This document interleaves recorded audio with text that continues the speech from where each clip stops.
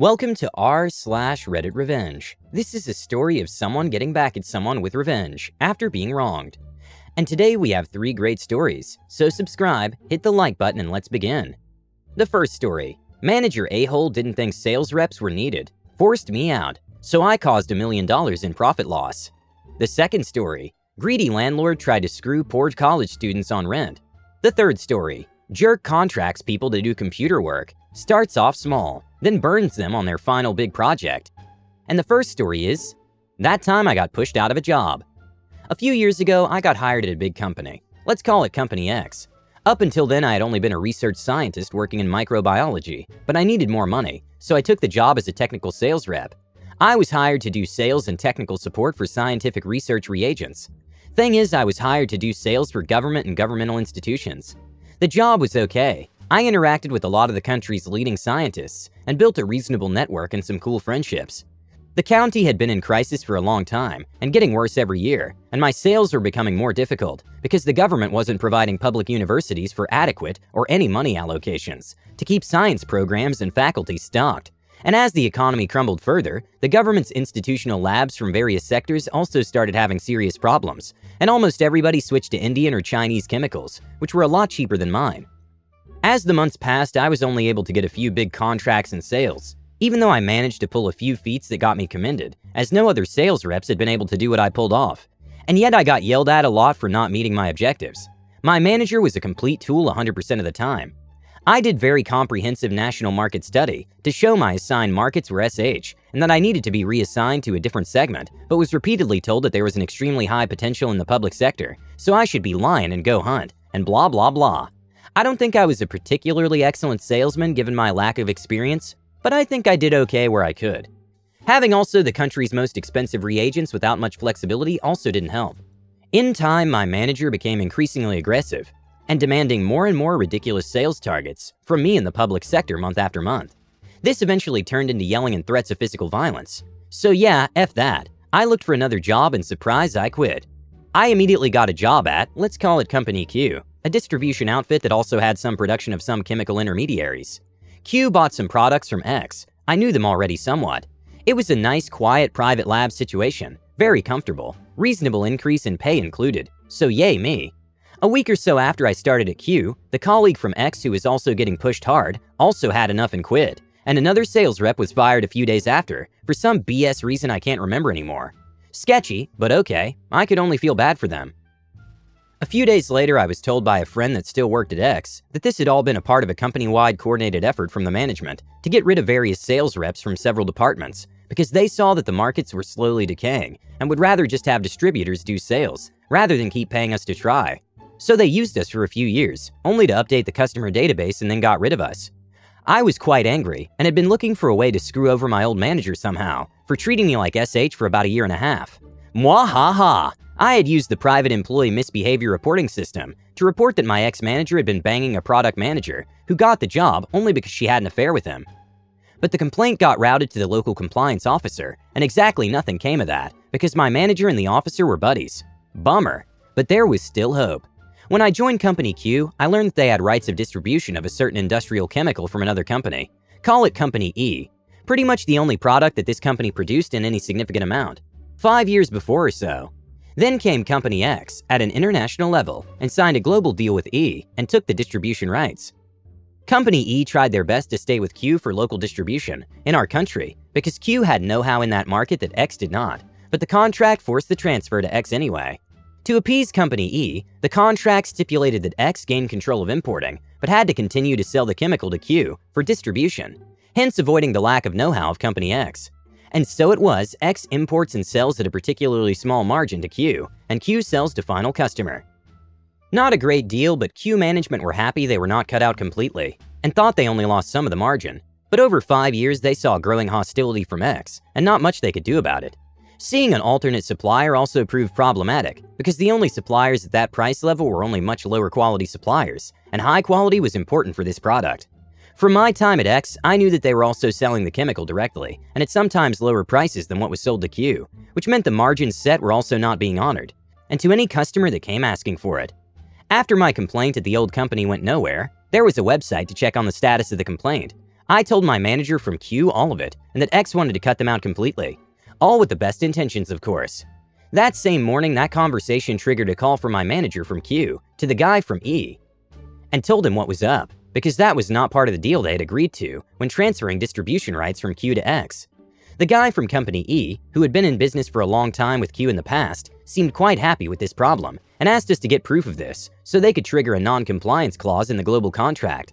Of course, this evidence could not come from me because I could get into trouble. Manager Q sent his sales reps digging, and they came up with all sorts of copies of sales receipts, delivery notes, and quotes of the chemical from Company X. Something that technically shouldn't have happened because Q retained exclusivity of final sales, and the prices each paid. There was a complaint, high-level meetings, and some lawyer action. Yada yada yada.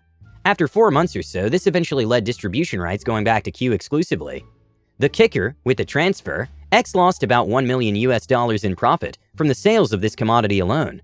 Q in return gained most of it, and as a result I got a big thank you and a lot of budget to equip and re-equip my new lab. I moved to a different lab a few years ago, but I'm still in contact with my old staff. They're still kicking A and loving one of the best equipped labs in the country. The second story is Greedy landlord went one step too far. Background College student living in a college city. Lived in the dorms first year, then in an apartment in the next years. In our college town slash city, you had to pay a finder's fee to the current tenant to move in. This was essentially paying them their deposit when you moved in, as there was not any formal rental contract. There were literally flyers up listing apartments with rent and the finder's fee on campus, so this was standard practice. Anyway, a buddy and I moved into one apartment middle of our second year, in a triplex where two of the three roommates had moved. All three in one of the apartments. The third guy had been living there for a number of years, had done undergrad and grad school there, and was the contact point for the landlord. We paid him and he paid the full rent. Note that this was not a sublet, just that we paid in total in one check. This is important. So our third roommate moves, graduates, and hands over the utilities, landlord info, etc. to me to handle before the start of summer. He had gone through a few landlords over this time and had not had a new lease or contract for years. So I take over and pay the bills during the summer. I became the POC, utilities in my name, important later for legal standing, and I was paying the rent, also important. Note you were stuck paying summer rent to keep a good apartment close to campus. So we paid for the apartment for the summer. Started the chess match. So fall hits and school starts. We get a call from the landlord. He said he didn't know anything about us and wanted us out. If we pay more rent, we can stay. So our rent goes up from 750 to $900 with 10 days verbal notice. So we suck it up since we can't move now. Too late, and we paid all summer just to have the place. And the extra was not that bad. Keep in mind this was when minimum was 325 an hour. So $150 is still a hit for three poor college students. Yes, this is from a while ago. So then as the semester gets to an end, the landlord then decides he wants to raise the rent to like 1,500 or $2,000, or he will evict us. He gives us 30 days notice to get out over Christmas break if we will not pay. None of us could cover that amount, two to three times where we started. We were all on financial aid. Well, after talking to some people, we find out we should look into the rent control laws. Check. Well, guess who is not properly registered or followed any rent control laws? Yep, this landlord. So we spend $500 on a lawyer and end up going to rent control court. Guess what the rent control board hates? Yep, greedy landlords that clearly break the law. Coming out of this hearing, we win big. Due to the rent check slash utility billing, we're found to be tenants, even though we do not have a written contract. That was our biggest worry on our claim. Landlord is punished for not being registered or in compliance for years. Well, really at all. So our rent is reduced to the original rent control amount, and it is retroactive, so our rent becomes $300 from the day we moved in. Oh, and we cannot be evicted just because the landlord feels like it. So doing the math, he owed us $6,000 in overcharges for the past year and would only collect 30% of the current rate going forward. And of course, he also had a bunch of fines to pay the board. I don't remember, but I think it was more than what he owed us. So our new rent of $300 gets paid into an escrow account. It'll get released once he pays the fines and us our $6,000. Well, like six months go by and I don't think he paid the fines. He did not pay us, and he's not collecting rent. Finger is still on the king, but he's not done yet. Obviously, renting any of the other units will be a problem for him rent-wise. So he then decides to play by the rules and serve an eviction notice for us based on one of the permissible rules. He's moving into the unit slash taking it off the market. We know it's total BS, but it's in the rules. We can call him on it, but then we'll start spending money on a lawyer battle he can outlast us on. He has money and is losing money every day we're there, so we propose a compromise and the king falls. We settle out of court. He agrees to a one-year lease with us at $300 a month. We'll move out in a year, end of school slash graduation for all three of us. He also signs over the escrow account to us and waives all owed rent to date. In the end, we saved $16,000. It was glorious, and we got 100% of our deposit, finder's fee as part of our settlement agreement, and we stayed until graduation. Oh, and he did not rent out the other unit during this time, so he was out an additional 10,000 to $15,000. Keep in mind this was an investment property, so I assume the property value dropped for the reduced income. Just looked up property history on Zillow, and three years after this occurred, the triplex sold for $300,000. So the rent collected from the units would have covered a mortgage, so he just wanted to print money. The last story is, pay me now, or... So I was a general purpose computer tech back in the wild west days of computing. I worked for a large computer chain store and met lots of really nice people and did my best to help them make their systems do everything the salesman had promised it would do. One of these customers was a guy, CD, that ran what I'll call a fringe business, called a buyer's group, that basically provided his clients a discount with a number of large medically related provider companies. The providers offered these discounts because CD paid them immediately and then collected from his clients, pocketing a portion of the discounts. Legit, but meh, I'm not a huge fan of debt shuffling business. CD had hired a contract programmer that I'd recommended to set up an accounting system for his operation. She did a great job on the design, and it worked well, but for some reason she refused to continue to work with them. I'd find out why later. CD contacted me and asked me to do some mods on his system. I figured it was because the contract programmer was too expensive, so I thought money and did a few small jobs for him and was paid reasonably promptly. Fast forward a couple of years and CD wants some pretty major changes. I was in a different job and had some vacation coming, so I agreed to do it for a flat payment of about $1,000. Pretty good money for back then. Vacation comes, work complete, no payment. Arguments about problems with my work, but no request to fix them.